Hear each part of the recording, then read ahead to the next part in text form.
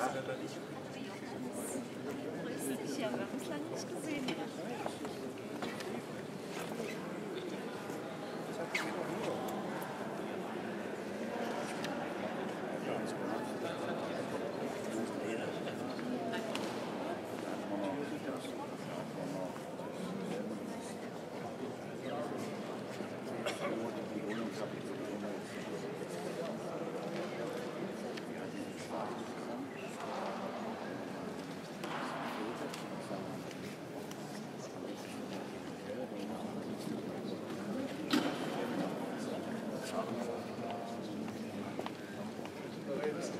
Darf ich das?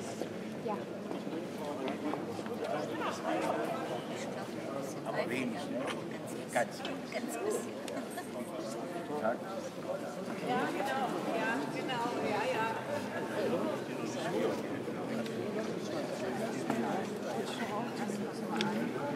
Zo kunnen we ook wachten.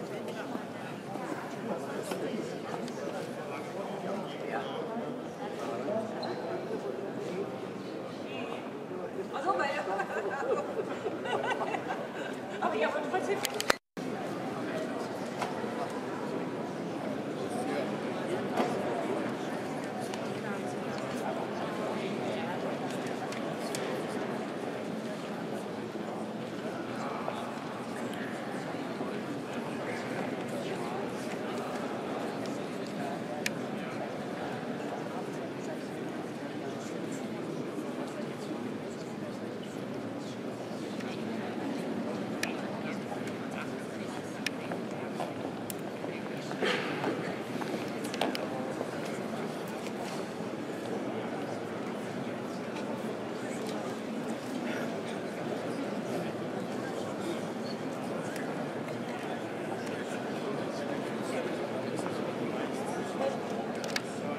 höchste Erinnerung an diese Zeit ist der 13. April.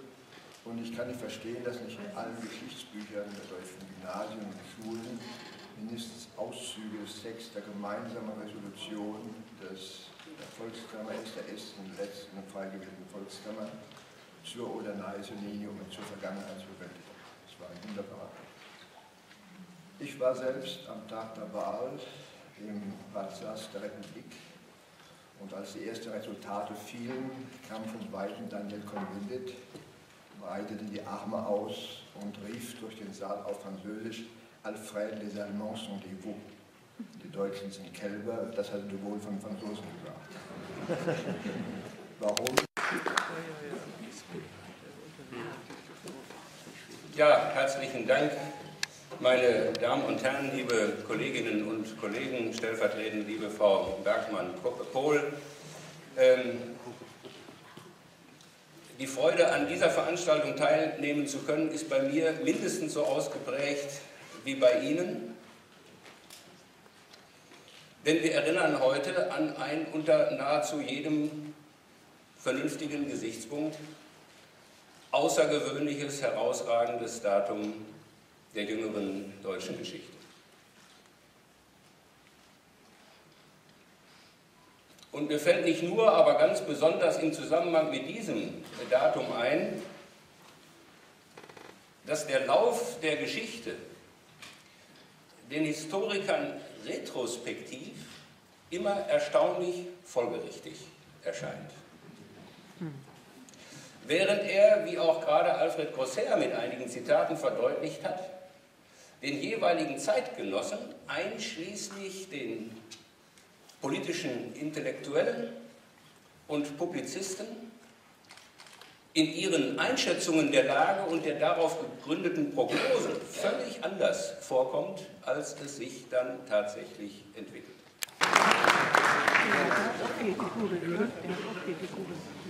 Ja, meine sehr geehrten Damen und Herren, reden wir also doch über das letzte Jahr der DDR und dessen historische Dimensionen. Wenn man von historischen Dimensionen spricht, meint man meistens Dinge, Entwicklungen, Koordinatensysteme, die ein konkretes Ereignis, eine konkrete Zeit überschreiten. Und genauso wollen wir es auch mit dem letzten Jahr der DDR halten. Wann fing eigentlich das letzte Jahr der DDR wirklich an? Ungefähr ein Jahr vor der Wiedervereinigung mit den großen Zusammenstößen in Dresden, den Demonstrationen in Leipzig? Oder fing das letzte Jahr der DDR so eigentlich erst an, bei dem Ereignis, das wir bei diesem Symposium feiern, nämlich mit der Freien Volkskammerwahl, der ersten gesamtdeutschen Wahl und ihrem Wahlkampf?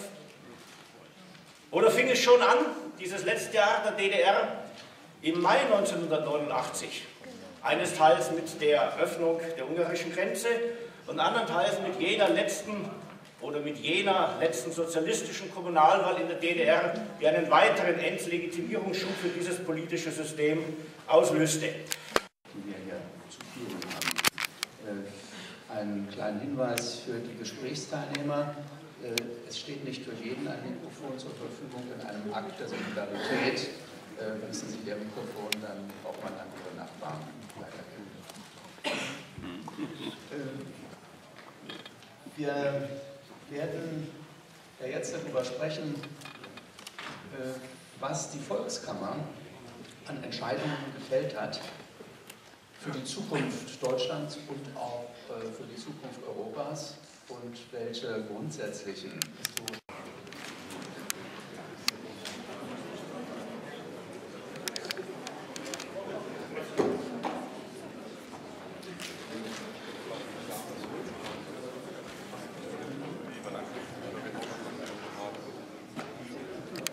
Ausführungen in der Deutschen Handwerkszeitung gesagt, äh, er versteht gar nicht so sehr die Aufregung jetzt darum, dass äh, der Steuerbonus nicht kommt, obwohl sehr viele Menschen ja davon wirklich in Deutschland enttäuscht sind. Er sieht auch keinen Stopp bei der energetischen Gebäudesanierung, weil 3 Milliarden Euro zur Verfügung stünden. Ein weiteres bedeutendes Ereignis, das es verdient, in ähnlich lebhafter Erinnerung behalten zu werden, nämlich die erste freie Volkskammerwahl in der DDR vom 18. März 1990, die heute vor 25 Jahren stattgefunden hat. Für den friedlichen, demokratischen, aber keineswegs selbstverständlichen Weg vom 9. November 1989 zum 3. Oktober 1990 hat die Volkskammer einen herausragenden Beitrag geleistet. In einer ungewöhnlich kurzen Zeit unter außerordentlich bescheidenen Arbeitsbedingungen.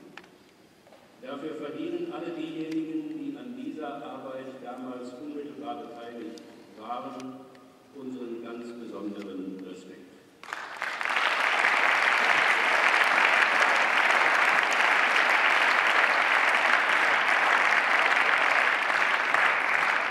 An der ersten freien Wahl zu Volkskammer der DDR haben damals 93,4 Prozent der Wahlberechtigten teilgenommen.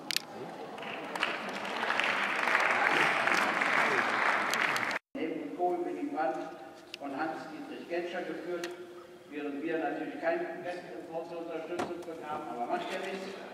Und Helmut Kohl, und Helmut Kohl hat ist auch nicht notwendig, dass der angefordert gewesen wäre. Ja, das hast du keine gemeldet, wie dem auch sei. Und Helmut Kohl hat bewusst oder unbewusst eine DDR-Mentalität bedient.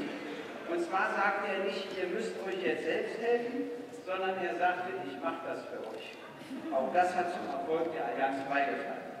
Der Wahlkampf war übrigens sehr spannend. Die meisten Plakate waren beschmiert und zerstört. Ich selbst erlebte nur tiefe Zuneigung oder tiefe Ablehnung und stellte fest, beides ist sehr anstrengend. Die Prognosen für die PDS lagen bei 4 bis 8 Prozent. Wir erhielten dann 16,4 Prozent und durften mit dem Ergebnis durchaus zufrieden sein. Bündnis 90 schnitt eher schlechter. Die Parteien aus der Bürgerbewegung waren bitter enttäuscht. Ich besuchte sie noch am gleichen Abend. Sie waren traurig und wütend. Sie fühlten sich als Befreier, die ihre Schuldigkeit getan hätten und nun nicht mehr gebraucht wurden. Ich sagte ihnen, die Leute wollten Befreiung und kannten sie aber irgendwie als ihre Richterinnen und Richter und die wählt man. Die Zeitung nach Volkskammer war auch spannend. Die Abgeordneten wurden immer als Reinschüler bezeichnet. Das stimmt insofern, als es keine Berufspolitikerinnen und Berufspolitiker waren. Aber die Situation war herausfordernd. Alle Abgeordneten kamen aus DDR-Strukturen und mussten über die Art und Weise des Endesberatens entscheiden. Und es gab lebendige Debatten abgelehnter Anträge. Dr. Bergmann Pohl, sehr geehrter Herr Ministerpräsident Lothar de Maizière, sehr geehrter Herr Professor Dr. Lammert und viele, die zu den Feierlichkeiten des 25. Jahrestags der ersten freien Volkskammerwahl der DDR gesprochen haben. Sehr geehrte Damen und Herren, die dort waren und sehr geehrte Damen und Herren, die das jetzt sehen können im deutschsprachigen Raum Europas. Ich war dort eingeladen als ehemaliger parlamentarischer Staatssekretär in der 10. Volkskammer im Kabinett de Maizière und hatte leider nicht zu den vorgesehenen Rednern gezählt. Auf mein Bitten hin äh, war kein Platz mehr für meine Rede, somit muss ich meinen Diskussionsbeitrag jetzt nachholen, was ich hiermit gerne tue. Es war einiges, was äh, ich dort jetzt besser, ich hätte das moderater dort getan, aber jetzt besser und freier äh, kritisieren kann. Erstens mal der Umgang der Volkskammer mit den Juden. Er wurde nur äh, einige wenige Male kurz angesprochen, dass er in zwei Etappen stattgefunden hat, zum 22. April ähm, und dann nachher nochmal in den letzten Wochen vor der deutschen Einheit. Das heißt, am 22. April und beschlossen am 24. April, glaube ich, ähm, war die Entschuldigung, dass wir uns von der Heuchelei und von dem äh, DDR-Praktikum den Juden gegenüber distanzieren. Aber das reicht ja nicht. Später wurde dann in der Vorbereitung des Einigungsvertrages in einer Anlage ähm, dann reingeschrieben, wie wir dort finanziell, also monetär mit diesen Dingen umgehen und da haben wir uns weitgehend oder ganz äh, der Sicht der Bundesrepublik äh, angeschlossen. Man kann in dieser Formulierung auch die Handschrift Schäubles erkennen. So, das dazu. Also das war zu wenig, was dort dazu gesagt worden ist. Die Juden, gerade jetzt in der Woche der Brüderlichkeit zwischen Juden und Christen, hätten eigentlich mehr verdient als die wenigen Worte, die dort dazu gesagt worden sind. Aber jetzt einiges Wichtiges, was mir noch auf der Seele brennt. Es wurde dort vieles gesagt über diejenigen, die die Einheit vorangetrieben haben. Das war überwiegend das neue Forum. Diejenigen, die nur zugehört haben und die innere Situation in der DDR kaum kannten unter Menschen, die haben natürlich vorausgesagt, das sind diejenigen, die jetzt gewinnen werden. Aber wir müssen ganz klar sehen, die Situation war eine ganz andere. Ich habe das nicht so gesehen und ganz viele andere auch. Ansonsten wäre die Wahl ja anders ausgegangen.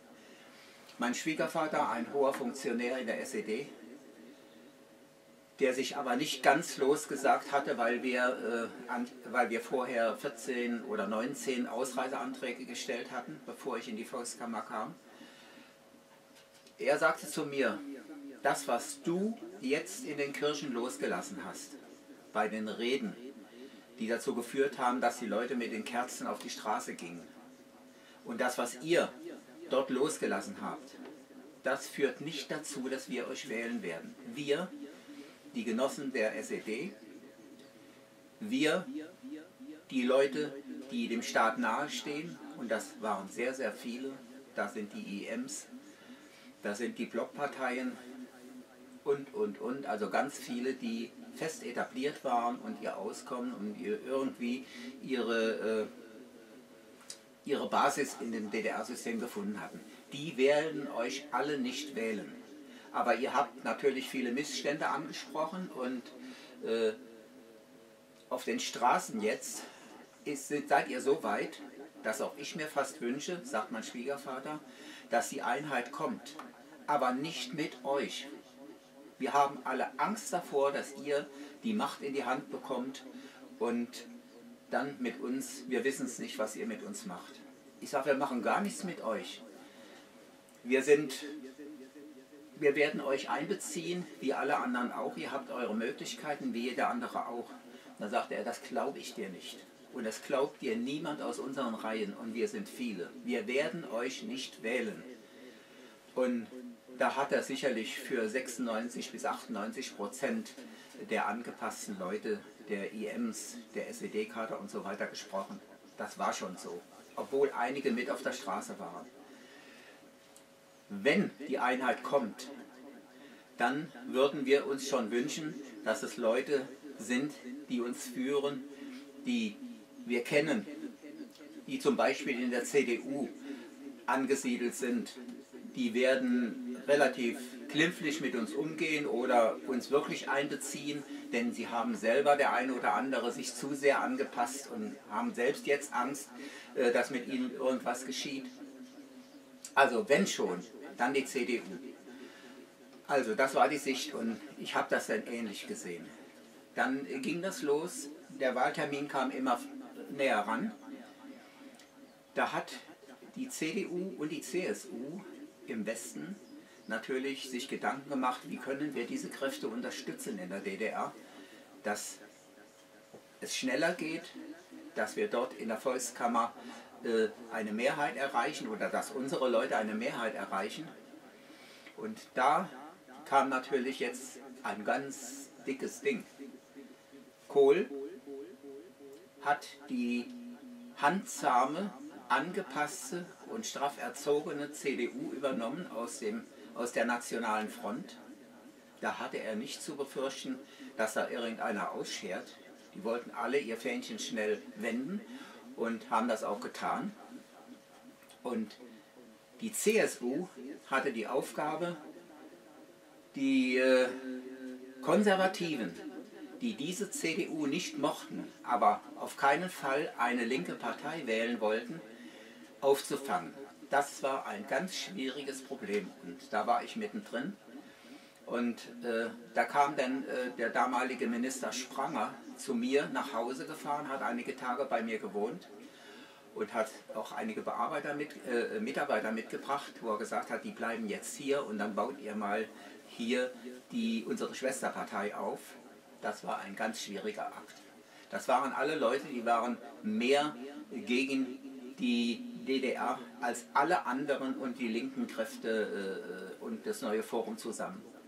Und die jetzt unter einen Hut zu bekommen und vor allen Dingen die dazu zu bekommen, dass sie in die, äh, in, in die Allianz für Deutschland mit der CDU zusammen und mit dem DA hineingehen, ähm, das war ein damals am Anfang noch nicht zu übersehen schwieriges äh, Ding. Auf jeden Fall hat Spranger das ähnlich gesehen. Er hat auch gesagt, also so stark werdet ihr nicht. Die CDU wird hier so stark, mindestens so stark, wie sie im Westen ist.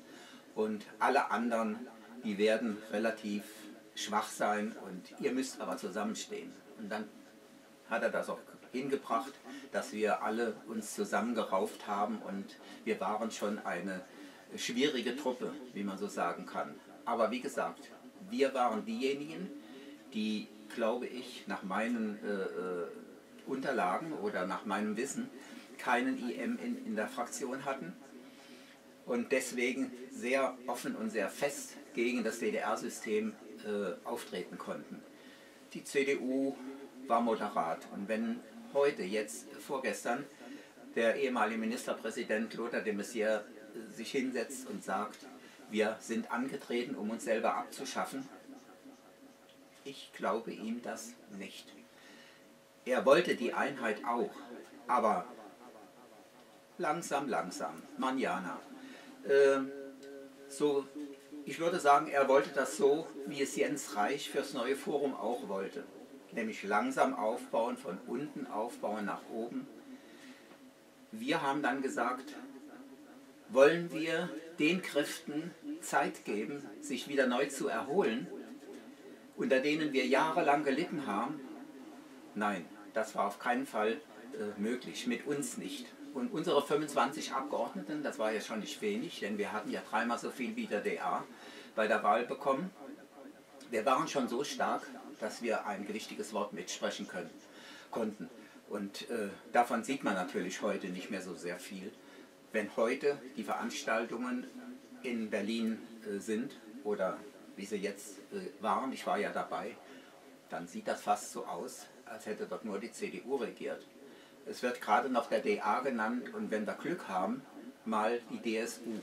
Wir waren nichts rechtsradikal, aber wir hatten ein breites Spektrum. Wir hatten Linkskonservative, ich zähle einfach mal für mich dazu unseren Minister Diesel und den Minister Eveling, Linkskonservative und einige andere auch. Ich würde mich fast noch selbst dazu zählen. Dann hatten wir aber mit Latusek äh, auch welche, die äh, offen ihre Sympathie mit der NPD ähm, geäußert haben. Aber die, die kamen bei uns nicht zu einer Mehrheit. Und wir sind so daran gegangen, dass wir eigentlich äh, den, den, den Anspruch hatten, neben uns auf der rechten Seite dürfte es keine Partei geben. Das heißt aber nicht, dass wir rechtsradikal gewesen wären, obwohl uns die SED seinerzeit so hingestellt hat. Das war aber nicht so. Wir sind also mit der CDU zusammengegangen, mit dem demokratischen Aufbruch. Der demokratische Aufbruch hat die paar IMs, die sie hatten, und die CDU auch, glaube ich, mit Kirschner oder wie der hieß, äh, äh, ausgesondert, sodass der Reinlichkeitsprozess doch so war, dass wir uns alle miteinander gut vertragen konnten. Und dann haben wir die Einheit betrieben, so wie sie dann gekommen ist.